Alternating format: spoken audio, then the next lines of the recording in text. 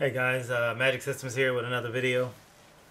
Um, today I wanted to discuss uh, having your user level security uh, wizard in uh, Microsoft Access uh, showing up grayed out um, or disabled. Um, this is just a quick workaround. I mean, there are various ways to get rid of this, but I'm just going to show you um, just a really quick way to just uh, be rid of this and continue on with your database. Alright, so all you want to do is just go into your um, database. I always enable my content.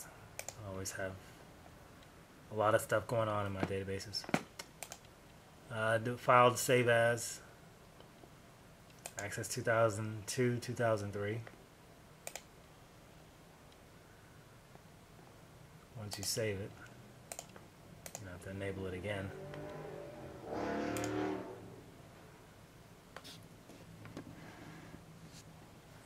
There you have it.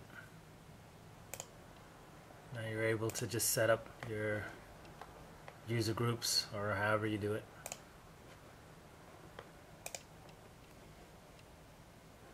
Everything that you want in here to have security.